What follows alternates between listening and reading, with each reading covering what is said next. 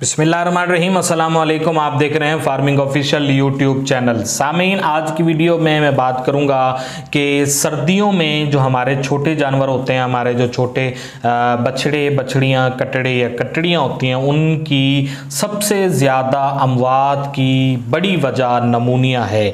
आपने सर्दियों में अपने छोटे जानवरों को, कटड़े, बछड़ों को, आपने नमूनिया से कैसे बचाना है? क्योंकि सर्दियों में हम अपने छोटे बच्चों बच्चों को अपने छोटे कटड़े बछड़ों या बछड़ियों की देखभाल अच्छे तरीके से नहीं करते और जानवरों को सर्दियों की वजह से नमोनिया जैसी खतरनाक बीमारी लग जाती है और इससे हमारे जानवर की मौत वाक़ हो जाती है। आज की वीडियो में मैं डिटेल के साथ, तफसील के साथ आज आप लोगों को नमोनिया से बचाव के तरीक़ाकार बताऊँगा और अगर अल्लाह ना करे आपके जानवर के मसला हो जाए तो इससे आपने, अपने जानवर की ट्रीटमेंट आपने उसका इलाज कैसे करना है, एहतियाती तदाबीर आज आप लोगों से शेयर करूँगा। तो जो लोग पहली मरतबा चैनल पर आए उनसे रिक्वेस्ट है कि चैनल को सब्सक्राइब कर लीजिए, घंटी के बटन को लाजमी दबाइए, ताकि डेयरी फ़ार्मिंग से मुतलिक आने वाली तमाम वीडियोस का नोटिफिकेशन आपको वक्त पर रिसीव हो सके। और वीडियो को किसान भाइयों के साथ लाजमी शेयर कीजिए। सर्दियों के तमाम चारा जात में जो प्रोटीन है, वो गर्मियों के चारों की नस्बत ज़्यादा होती है।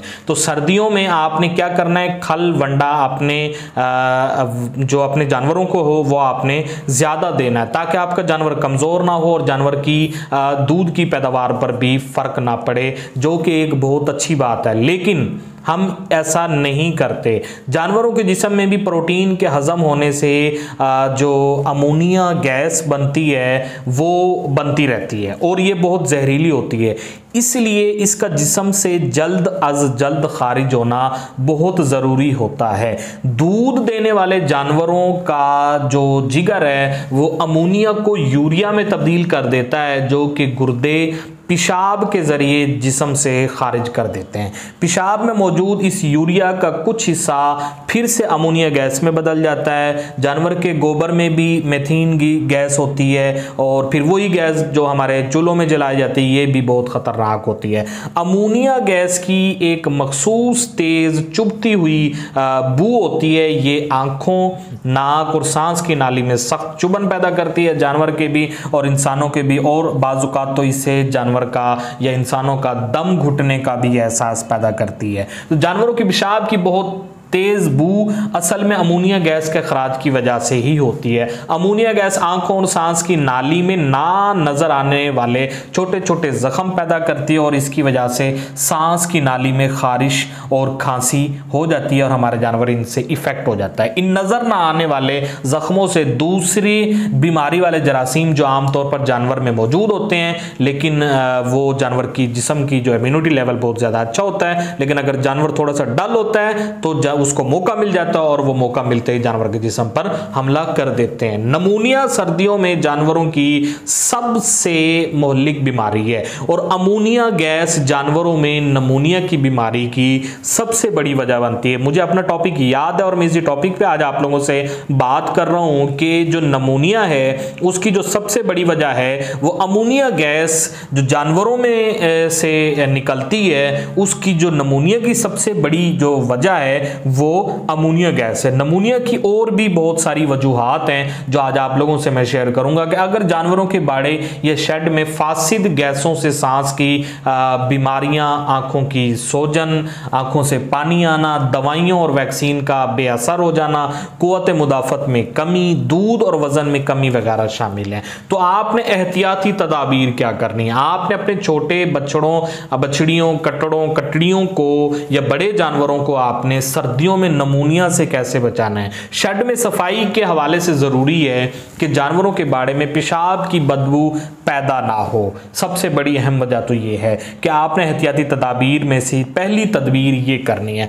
दिन को बाड़े के जो आपने पर्दे लगाए हुए हैं चिकें लगाई हुई हैं जो आपने शॉपर वगैरह लगाए हैं उनको मुकम्मल तौर पे आप खोल दें ताकि उसके अंदर से जो अमोनिया गैस मुकम्मल तौर पे खारिज हो जाए और आपका जो शेड के अंदर जो आ, गंदगी है, उसे भी निकाल दें और आप, ताकि आपका शेड मुकम्मल तौर पर खुश्क हो सके। बाड़े, आपके जानवर का जो बाड़ा है, उसको खुश्क करने के लिए सफ़ाई करें या उसमें आप रेत वगैरह डालें।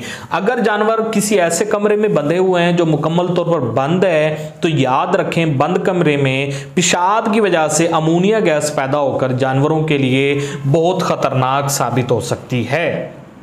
लिहाजा ज़रूरी है कि जानवरों के शेड या बाड़े के ऊपर छोटे छोटे सुराख या रोशनदान बनाए जाएँ ताकि बदबूदार पेशाब से पैदा होने वाली गैसें जो पैदा हो रही हैं, उनका अखराज को मुमकिन बनाया जा सके। अक्सर देखा गया है कि हम जानवरों के कमरे के छोटे छोटे से सुराखों को भी बंद कर देते हैं कि इसमें सर्दी ना आए। इसकी वजह से जानवरों के कमरे के अंदर जो गैस है वो बढ़ जाती है, गैस का अखराज नहीं हो पाता। तो कोशिश करें कि आप अपने जानवर के जो कमरा है, उसके ऊपर रोशनदान वगैरह बनाएँ और वो छत के करीब बनाएँ ताकि ताज़ा हवा का अखराज भी हो सके और वहाँ से आप के जानवर के जो कमरे के अंदर जो ख़तरनाक गैसें पैदा हो रही हैं, उनका अखराज को मुमकिन बनाया जा सके। जानवर को डायरेक्ट ठंडी हवा ना लगे, बाड़े के पर्दे नीचे ज़मीन तक हों, हवा से उड़ ना पाएँ, ये वो एहतियाती तदाबीर आपने करनी। अमोनिया गैस हल्की होती है और हमेशा ये छत की तरफ़ जाती है, इसलिए छत के पास आपने रोशनदान या सुराख करने से जानवर को ठंडी हवा भी नहीं लगेगी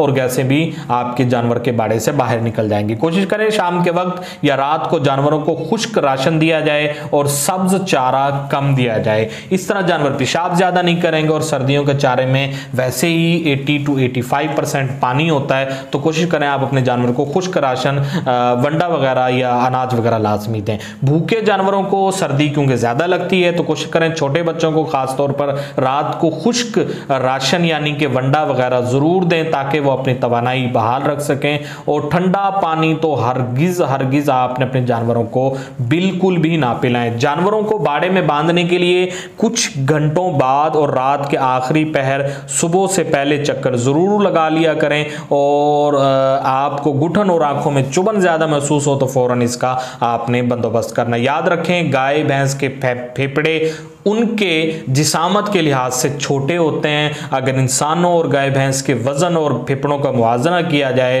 तो इसलिए जानवरों में इंसान की बीमारियाँ सॉरी जानवरों में आ, जो सांस की बीमारियाँ वो ज़्यादा शदीद होती हैं। तो छोटी छोटी लापरवाहियाँ जानवर को कमज़ोर और बीमारी से लड़ने की सलाहियत कम कर देती हैं। तो आज की पूरी वीडियो के अंदर मैंने आज आप लोगों को बताया है कि आपने अपने जानवरों को स्पेशली छोटे जानवरों की जो अमवाद की सबसे बड़ी वजह वो नमोनिया है और नमोनिया कैसे कैसे बचाना है और नमोनिया आपके जानवरों के जो बाड़े के अंदर अमोनिया गैस पैदा हो रही है, उसकी वजह से आपके जानवरों का नमोनिया जैसी खतरनाक बीमारी हो रही है। अगर आप अपने फार्म पर अमोनिया गैस के अखराज को यकीनी बना लेते हैं और आप अपने फार्म को अमोनिया गैस से मुकम्मल तौर पे पाक कर लेते हैं तो आपके फार्म पर सर्दियों में कभी भी नमोनिया जैसी खतरनाक बीमारी नहीं आ सकती। सकती। उम्मीद है मेरे किसान भाइयों को ये वीडियो लाजमी पसंद आई होगी। वीडियो को किसान भाइयों के साथ लाजमी शेयर करें चैनल को सब्सक्राइब कर लीजिए, घंटी के बटन को लाजमी दबाइए।